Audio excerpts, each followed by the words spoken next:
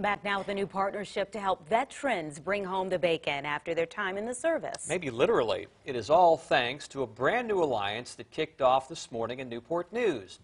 Then your size Aesia Oliver shows us how it will get some veterans some good paying jobs. The Hampton Roads Veterans Employment Center in Newport News is now open.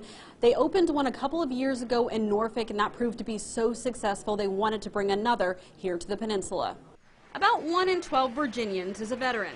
In the 757, that number jumps up even more. Everyone in Hampton Roads probably has a neighbor who is either serving or has served. For veterans like Sultan Camp, the switch from a life of service to life in the civilian workforce wasn't easy. My transition actually took about five years because we often have to figure out what we want to do.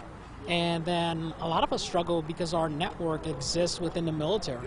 He says when you spent your life in the military, your professional network just isn't there. But that's where a new Veterans Employment Center in Newport News comes in. Go.